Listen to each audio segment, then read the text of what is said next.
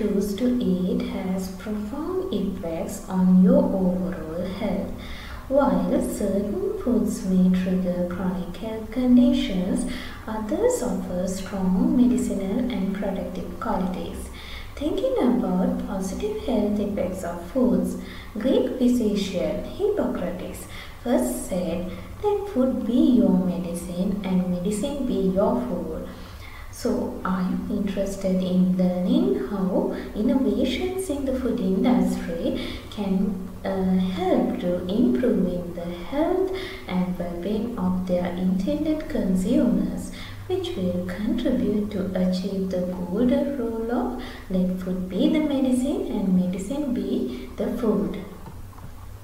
So, welcome to learn about innovations in food technology for improving human nutrition and well-being. I'm Dr. Geeshani Somaratne, a lecturer from the Department of Food Science and Technology, Faculty of Agriculture, University of Peradeniya. Additionally, I'm also a registered nutritionist at Sri Lanka Medical Council. Before going into details of our topic, let's clarify what is food. A food is something that provides nutrients. Well, these nutrients are substances. Uh, we can say it carbohydrate, protein, fats and vitamins as well as minerals and these substances or chemical compounds directly provide energy for our day-to-day -day activity and also help to growth and functions of the uh, body then eating a well-balanced diet rich in all these nutrients uh, could be associated with feeling of well-being or in other words quality of our life. A healthy diet throughout the life promotes the healthy pregnancy outcome and support the normal growth, development and healthy aging which overall helps to maintain a healthy body weight and reduce the risk of chronic diseases thereby leading to overall health and well-being. So now let's discuss what is food innovation. Well, food innovation is the development and the uh, commercialization of the new food products and it could be a process or a services too. Well, right now it's happening very rapidly, isn't it? So food and beverage companies are looking for ways to make healthy, nutritious offerings that are not only uh, easily accessible, exciting and unique but also it should be very sustainable, right? Uh, as food industry stakeholders or food science undergraduate student as well as a consumer, you may have aware that during the last few decades, various food innovations have been introduced to achieve the proper nutrition from foods uh, we eat to ensure the health and well-being of our life. Now I'm going to highlight few of these examples. Here the triple burden of malnutrition represents the undernutrition, obesity or the overweight as well as the associated micronutrient deficiencies. As you can see here how the gravity of this problem because it's uh, basically spread uh, throughout the most of the countries around the world and most of the micronutrient deficiencies are highly prevalent in the still prevalent in the African countries and India as well as uh, some of the uh, Southeast Asian countries. However, it is not a surprise uh, the prevalence of the micronutrient deficiencies which is which can be associated with both overnutrition because when it comes to the most of the junk food which are rich in unhealthy fats, salts and refined carbohydrate and therefore it will not adequately provide uh, required amount of nutrients including the, uh, these type of micronutrients. Uh, so to alleviate the food and nutrition related problems around the world, the Sustainable Development Goals that target food and nutrition security and sustainable agriculture were set in 2015 by the United Nations General Assembly and are intended to be achieved by the year 2030. So the entire food industry stakeholders around the world work hard to achieve these goals via uh, several types of innovations. Let me take uh, or let me point out some of these food innovations that help to improve the food and nutrition security and ensure the sustainable agriculture. Here is one such example. Uh, have you heard about the golden rice? Well, golden rice is a variety of rice produced through the genetic engineering to biosynthesize beta carotene, which is a precursor of vitamin A in the edible parts of rice. It is intended to produce a fortified food to be grown and consumed in areas with a shortage of dietary vitamin A as we know, vitamin A deficiency directly linked with the childhood blindness and it's a life-threatening condition which can increase the mortality and the uh, morbidity of the uh, childhood stage. So this is one of the key food innovation that uh, help us to improve the uh, nutrition and the well-being among the uh, poor children who are affected from the vitamin A deficiency. Additionally, the most effective and accessible way of securing the population with vitamins and micronutrients is to fortify addi uh, addition uh, fortify uh, additional food and consumer products daily. So this fortification has been implemented for a long period of time in industrialized countries to achieve the successful control of vitamin A and D deficiencies as well as several vitamin B that, may, that includes thiamine, riboflavin and niacin deficiencies as well as iodine and uh, iron deficiencies. Uh, in here I would like to give you some example when it comes to the salt. Uh, the fortification of the salt uh, using iodine was introduced in the early 1920s uh, by both Switzerland and the United States. Uh, so as a result of that introduction, uh, both Switzerland and United States, they do not currently have the problem of the iodine related deficiencies like uh, goiter. Mm. Uh, in addition to that, uh, in the early 1940s, the fortification of the cereal products with thiamine, riboflavin and niacin has become a common practice. When we consider about the current scenario, even in Sri Lanka, the margarine products that we are using are adequately fortified with vitamin A and D. So these approaches have proven to be effective in reducing the prevalence of many diseases due to deficiencies of micronutrients such as goiter due to iodine deficiency and xerophthalmia due to vitamin A deficiency and the prevalence of rickets due to vitamin D deficiency and the prevalence of anemia due to iron deficiency.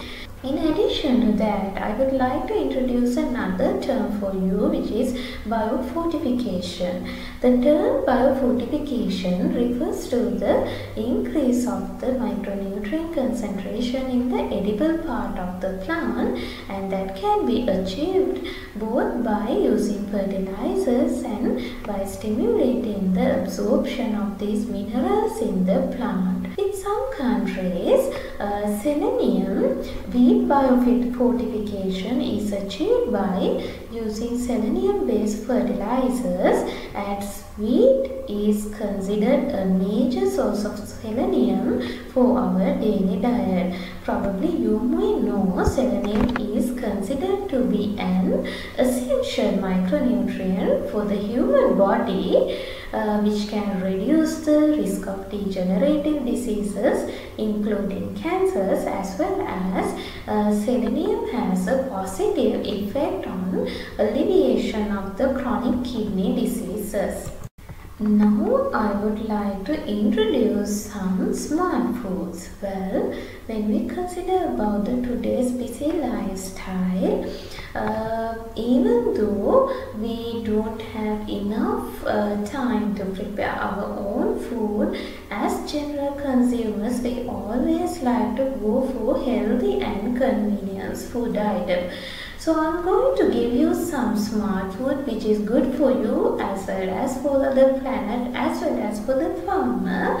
At the same time, these type of foods have been developed or you know, uh, innovative technologies have been applied to develop these food in order to improve the nutrition and the uh, well-being of the consumers. In here first I would like to introduce the nutraceuticals and the functional food. So and the functional foods they are modified types of food or the extracted nutrients uh, that claims to improve the health or well-being by providing benefits beyond that of the traditional nutrients isn't it? And these nutraceuticals and the functional foods uh, which will directly help you to uh, provide the management and the treatment of the leading causes of death in the world which are cancer, heart disease as well as uh, respiratory diseases and the stroke, diabetes, Alzheimer disease, kidney diseases. Then I'm going to talk about the genetically modified foods which are also known as the genetically engineered food or bioengineered foods and these foods are also used to produce the smart food items. And in here during this uh, with the implementation of this technology that uh, could be changed the uh, DNA uh, using the methods of the uh, genetic engineering. In here, genetic engineering techniques allow for the introduction of the new traits as well as greater control over traits when compared to the previous methods such as selective breeding and the mutation breeding. Well, even though genetically modified foods have a potential of improving health and well-being of humans, still there are ongoing public concerns related to food safety, regulation, labeling, environmental impact, research methods. Now I'm going to talk about the cultured meat. Well, cultured meat is meat produced by in vitro cell culture of animal cells instead of from slaughtered animal. So this is again an innovative technique introduced very recently and this cultured meat is produced using many of the same tissue engineering technique traditionally used in uh, regenerative uh, medicine. Well, uh, this cultured meat is uh, very popular among the vegetarian people because uh, it says that artificial meat stops cruelty to animals is better for the environment, could be safer or more efficient and even healthier. Then in parallel to these various innovations, uh, there are uh, new techniques and new products have been developed uh, for vegetarian or the vegan people. As I mentioned to you earlier, vegetarianism is a new trend around the world. Therefore, uh, different type of plant-based meat products and artificial eggs as well as the dairy uh, instead of the dairy based milk uh, plant based milk products were introduced in order to cater the demands of the vegetarian people. Then, do you know how smart is our food industry? Well, now people can access non-alcoholic beverages or like alcohol, non-alcoholic beer. Well, as we all know, alcoholism and associated health conditions such as cirrhosis is a great problem around the world, including in Sri Lanka.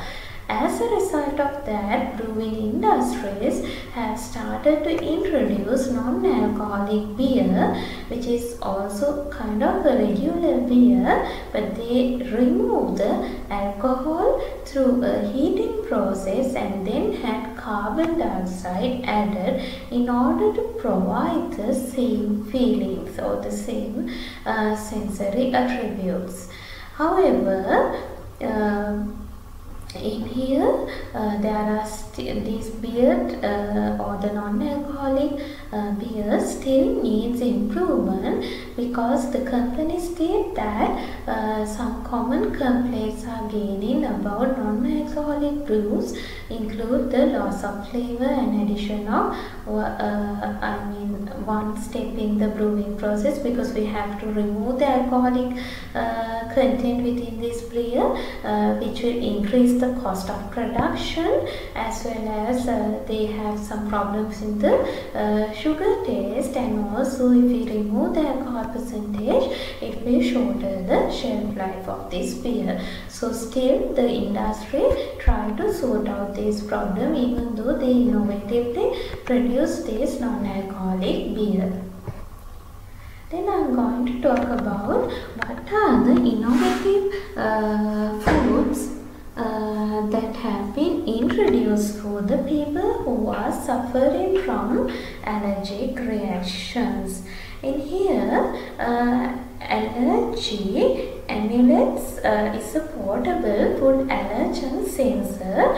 And this portable allergen sensor can be applied into food and uh, it's kind of a disposable test strip which enables the allergic person to test whether the food uh, contain any potential allergens. If so, then the person uh, who are suffering from allergy uh, should not eat that food. Likewise, there are several type of strips have been developed to identify allergenic compounds within the uh, major allergenic foods.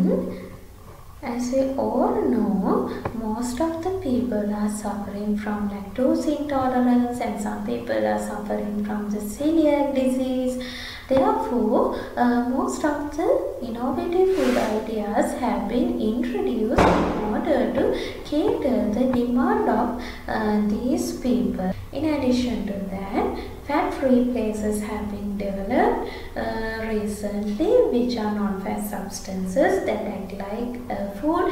As we all know, people are very conscious about their health. Therefore, they don't like to eat uh, fats and oil very much, especially saturated type of fat uh, because it's highly associated with the increments of the LDL cholesterol, bad cholesterol. Therefore, different type of plant-based uh, fat replacers have been developed. Then, very recently, uh, people have looked for immunity boosting foods due to the prevalence of the COVID-19 pandemic situation.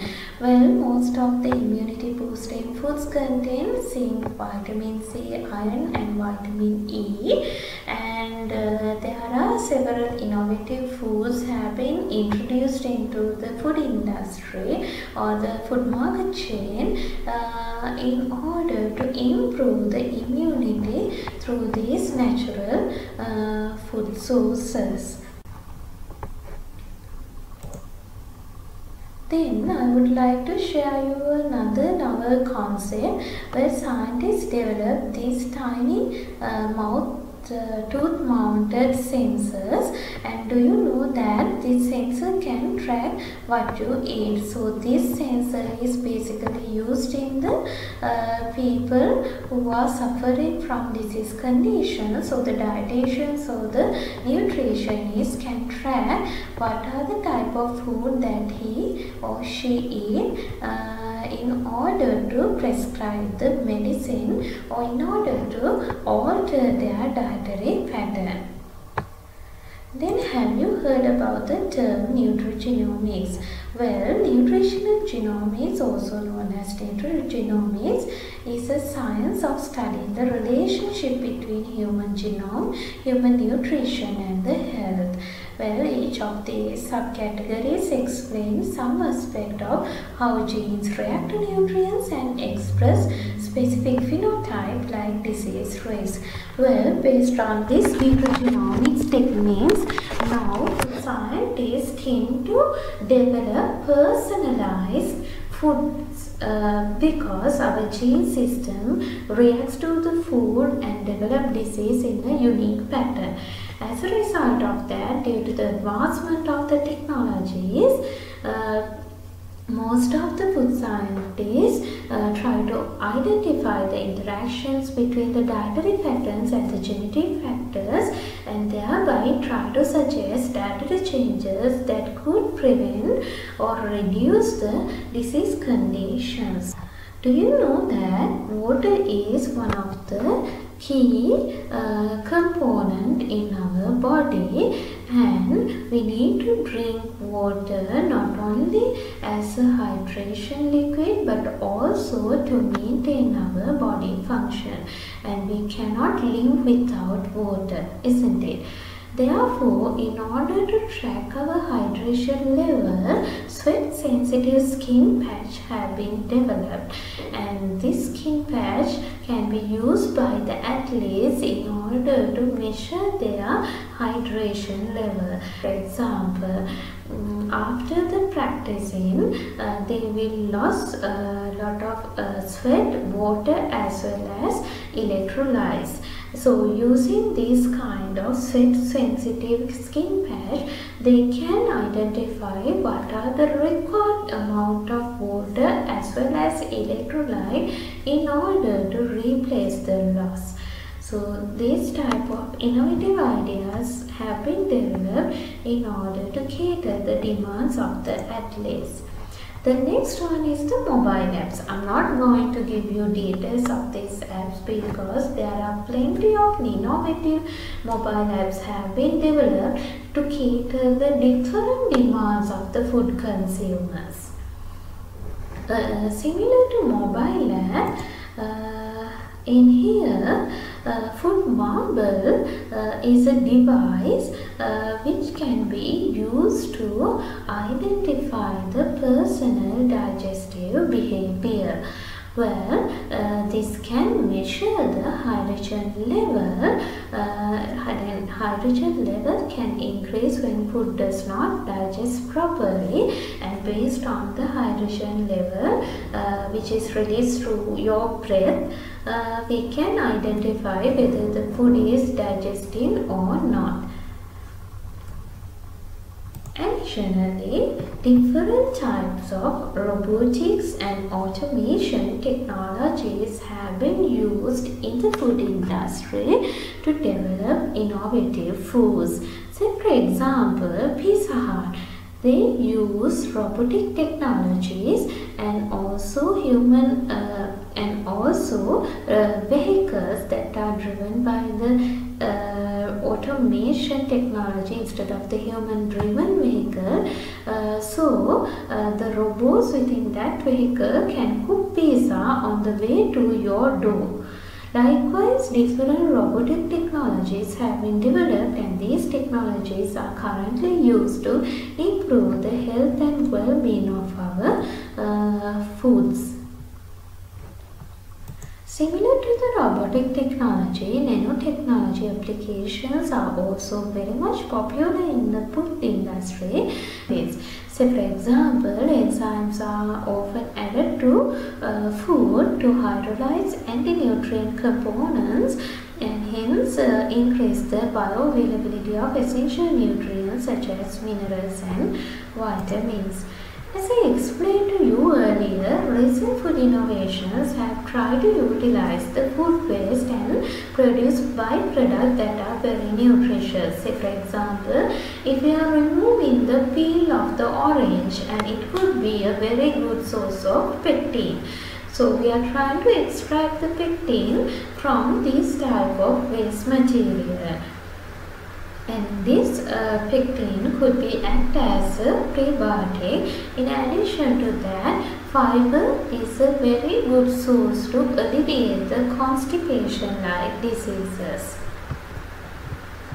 So I hope you have a clear idea about uh, what are the different type of innovative food ideas that have been introduced recently. However, always remember that not only food technology but also any other type of technology that could be a double-edged sword because as you know fire can cook our food but also it can burn us so in here, innovative technologies can be used to produce the unhealthy foods at the same time healthy food. As I mentioned to you earlier, because of the introduction of the fast food and the junk food, now we have to face the triple burden of malnutrition. So if you are planning for a food innovation, then you have to identify your target audience as well as you have to identify your proper technology and you have to do a proper analysis of what are the positive and the negative benefits associated with this product or the technology.